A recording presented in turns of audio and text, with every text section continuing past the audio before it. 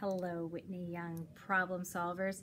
We have some problems to solve with paint today in the art studio, and you always have the best ideas and the best solutions.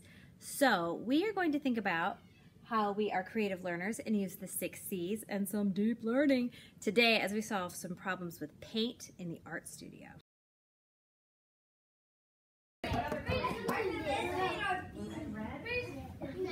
You're getting it together.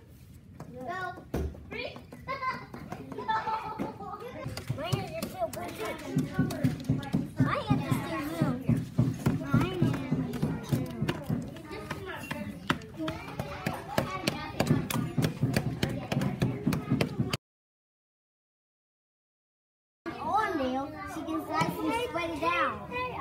Yeah, that's a good idea. Alright, try to keep it in the Can squish it all together and use more. That's right. Good problem solving.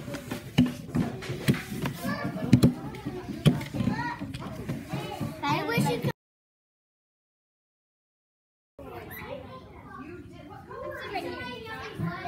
Ava, Ava, I'm on the wobbling chair.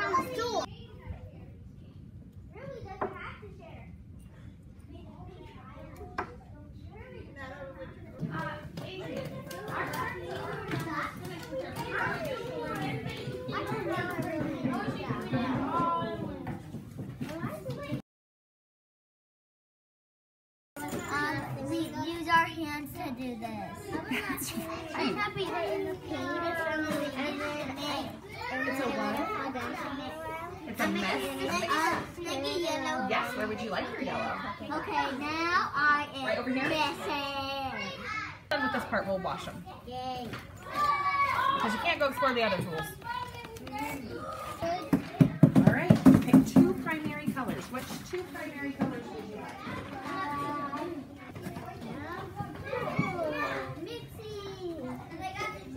Drying rack?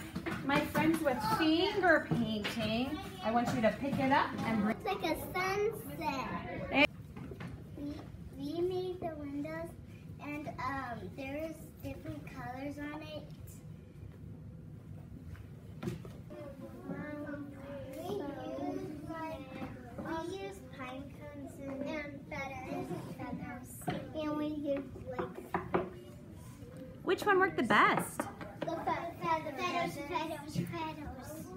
This was on the blue bobber, the circle one, because it made circles, and then I took the roller and then smushed it around um, on the paper, and then the um you, uh, splatter painting, you was hitting the brush inside of it, and in the other and at the other one, we was using our